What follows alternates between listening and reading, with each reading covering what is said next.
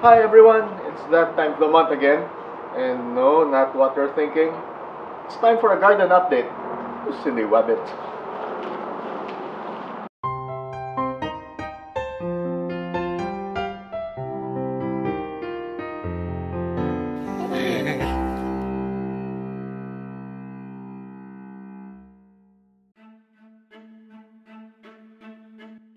So first up is this spot where the Kante used to be. And as you know, the Kante is now known as Rick Astley and it's in the Patreon spot. So I need to think of what to put in here. I'll be looking at replacement and I'm taking it from one of the new plants that I got from the show. I'm also thinking of removing this Domingo since as you can see it's getting larger than a pot. So I might also have to think of a replacement for that. You'll also notice that last time I showed you some of them got sunburns, but most of them are recovering now, and I'm not really concerned about the burns because they're going to outgrow them really soon. So I'm just going to keep them as is, and hopefully they will get back to health in just a few weeks.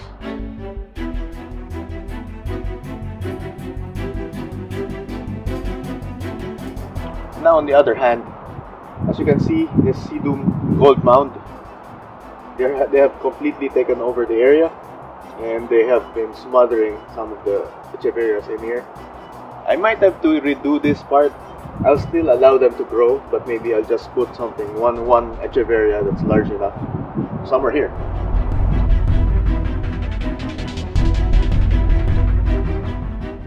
I did mention that the gold mound is taken over, and as you can see, if I move them out of the way and part them, you would see some Black Prince underneath and they have severely lost color. They're now turning green. So I might have to do something about this. Right now I'm thinking that instead of Black Prince I will be choosing another cultivar that's already bigger. In keeping with the theme of using a brown or a dark variety I'm going to pick from one of the new plants that I got because I've gotten a, quite a few with the same color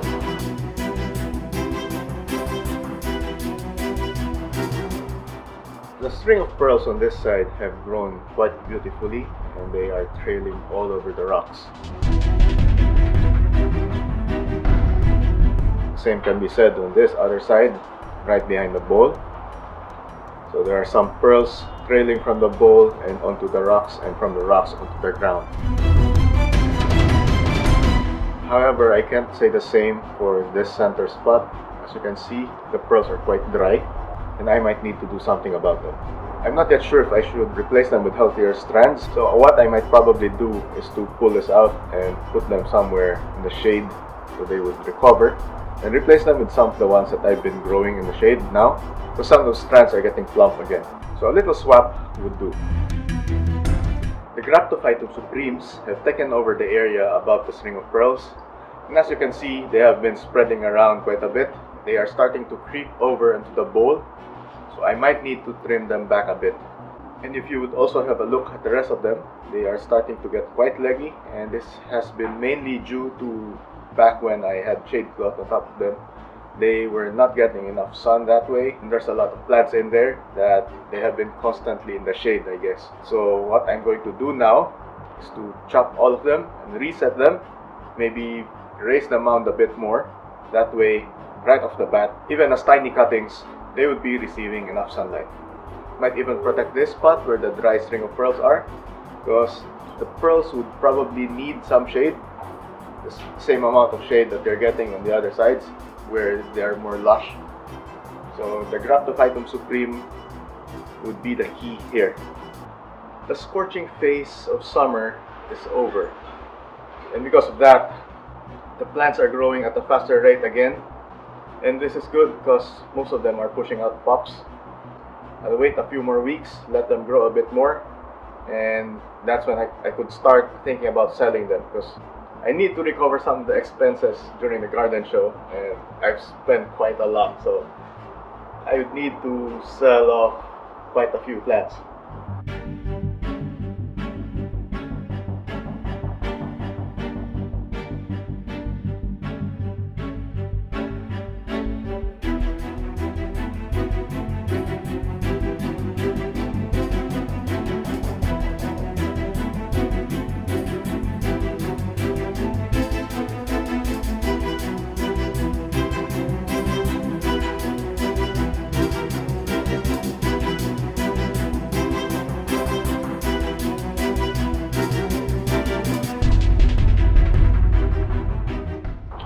This Mauna Loa has a pop growing off of a tall stem. It's going quite strong and looks like it has pushed out its own flower stalk. Stalkception.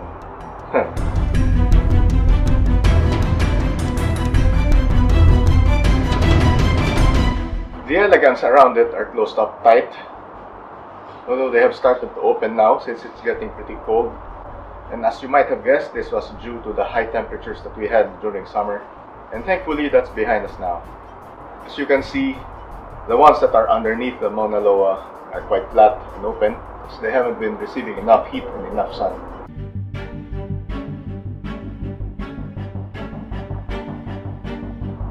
The Senecio serpens or the dwarf blue chalk sticks around the elegans are getting quite dense.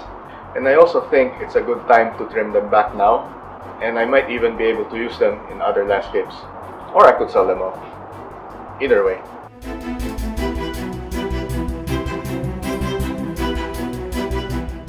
Now that I've removed the shade on top of them, and the days are getting shorter, all of my echeverias are now starting to color up, and they are shifting away from their standard green-blue coloring and are now well on their way, the warmer end, the polar spectrum.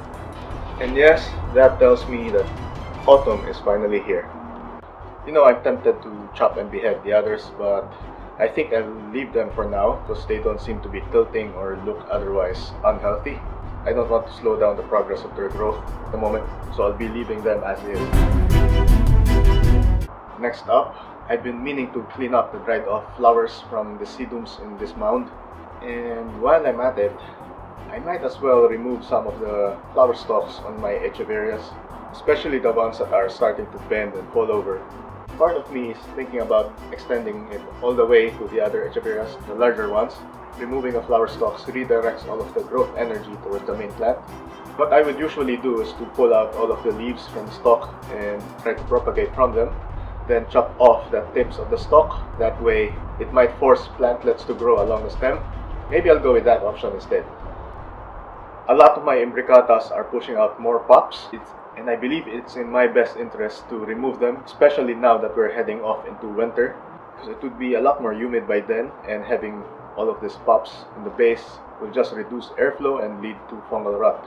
But on the other hand, I have all of these pops that I have plucked and planted a while back, and I have to deal with them first.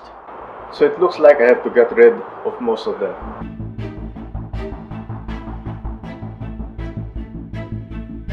The aeoniums have just been planted and time will tell if they are going to settle in nicely. But I'm hoping that the short black would be filling up the place because that's what I intend for in the design.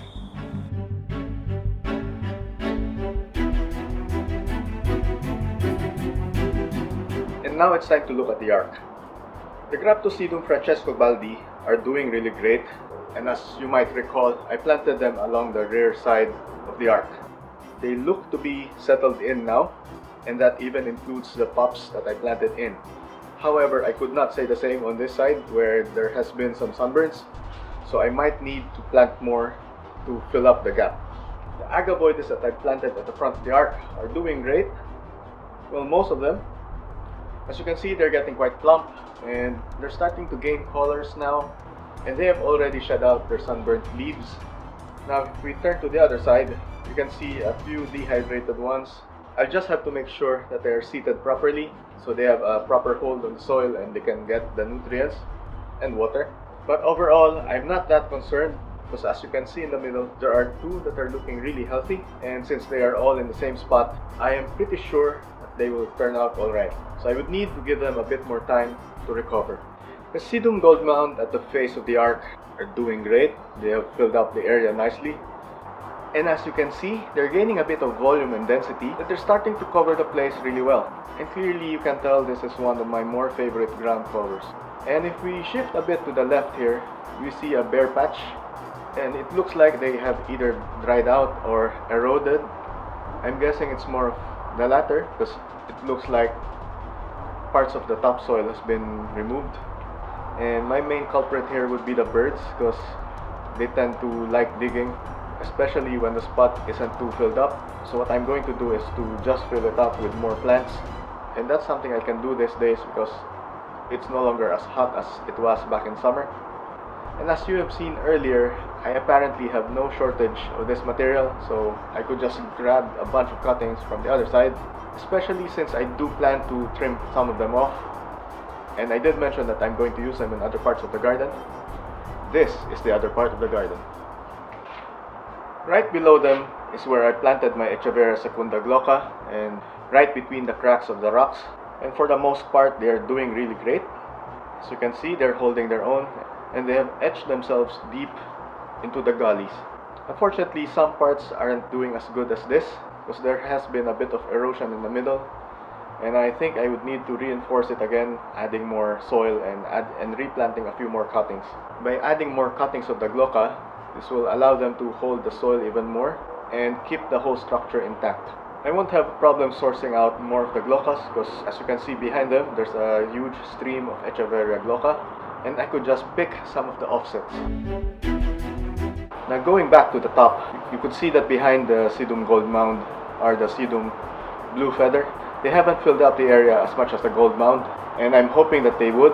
Maybe I just need to give them a bit more time or I could reinforce by picking some more a bit more cuttings from my other landscape. Also you might notice that they kinda look the same. This is not a coincidence because they are actually the same species, just different variations of it. Their actual name is Petrosedum forsterianum, but I've just but I've gotten used to calling them sedums. So all I need to do is to add a bit more cuttings and see how they grow from there. The thin line of blue chalk sticks here isn't really doing so great. Right now they're looking quite dehydrated, but I might need to reinforce them by getting more cuttings from the other arc. Next up are the jelly beans behind them, and as you can see, they're doing really well. They're growing more offsets now. They're looking a lot more plump and happy than before. Some of them are getting quite tall, and part of me wants to chop them, but I think I'll leave them like this for now. Because they're towards the back anyway, and they're surrounding this huge bowl. It would be nice to use them as a frame around the bowl. Oh, and look! Even the leaves that I just randomly spread around have grown tops. Sedum spurium, or dragon's blood, and the Sedum spathulifolium, or Cape Blanco, they look a bit dehydrated and burnt, understandably because they were dormant back in summer. And now that it's getting colder, it, we're heading into their growing season, so I'm going to give them a bit of time to grow and offset so I could use the offsets and propagate them and plant them to fill up the bare spots. But in stark contrast to these, the specimen Echeverias in this spot are all really happy. And as you can see, they're putting out their nice autumn colors on. All of them are looking warm now with their pinks, oranges, and reds. And this is only going to get more intense as we go further into autumn. I could say the same for all of the Echeverias in Project Lux. They are putting out their reds, oranges, purples, and pinks. Just look at those colors, man.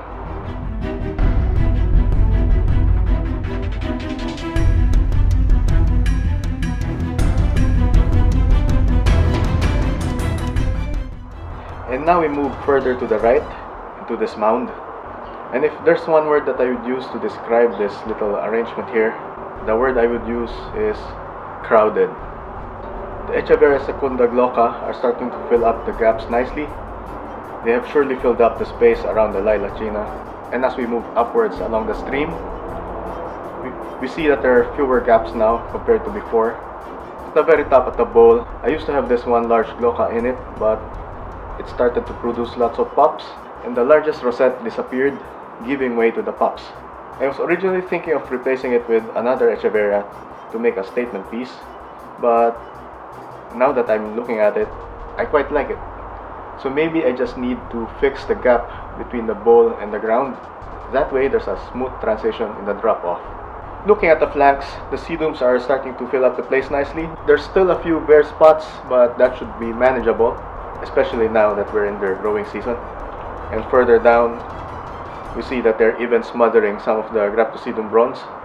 So I might need to trim them back, clean up a bit, and the cuttings could be used in other landscapes. And looking further down, it looks like the jelly beans are starting to cover the place nicely. They have grown and spread, and this even includes the ones that I just planted last month, I think. So this spot, overall, in terms of growth, it is showing the best progress. There's a little forest on the right composed of the pig's ears. Part of me wants to remove them just to maintain consistency with the rest of the design. But I think it mainly depends on what I decide to do in the next area, which is going to be the Patreon display area. So I'm going to keep the pig's ears in until I figured out the design. Right next to the Patreon display area would be the tulip area. Oh, hi Rick. So the very first step here involves doing a lot of cleanup. What I'm going to do is to remove all of the pots and the rocks and work on the foundation design. So I would have to think about where I would like to place each type of tulip. So far I'm thinking of grouping them by color. And maybe the more luminous or the brighter looking ones would be up in the front, while the more muted or the darker ones would be at the back. I'd like to have them in, at different levels, but I'm not sure how well tulips will do with mounding. So for now, especially since this is a dry run, I'm just going to have them flat on the ground, see how they go all the way through to next year, then redesign the whole thing.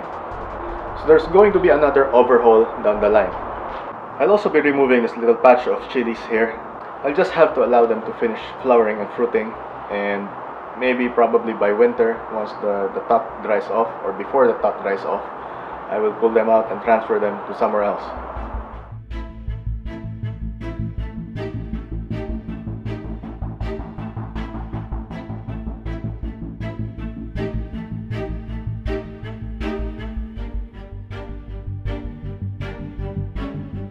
Now let's move over to the area of neglect. There are a few pumpkin patches over here and one of them is starting to dry out. After it's done with the fruits, I'm going to remove all of these vines because they would die off in winter anyway. And now that summer is done, I've been neglecting this area less, which means that the plants are getting a bit more attention now. And except for a few sunburnt ones, they are improving greatly now. They're getting more plump, getting colors, getting larger, all indicators of good health.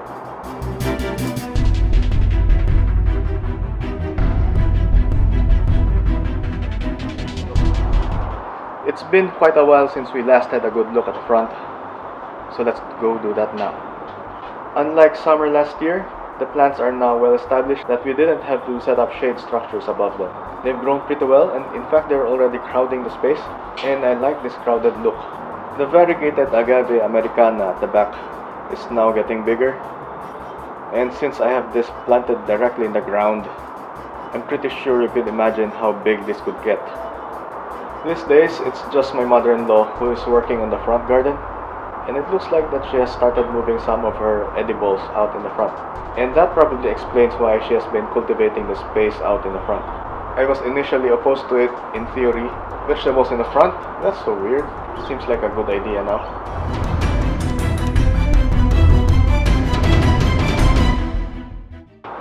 Of course, I have to mention the plants out in the alcove. And these are the shade tolerant plants in my collection. I've got most of them in the ground, some in pots.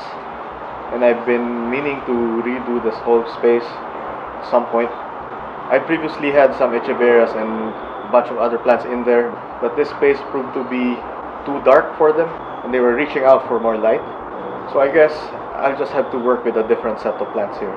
Right now we're just dumping all of our extra plants here, especially the our indoor plants.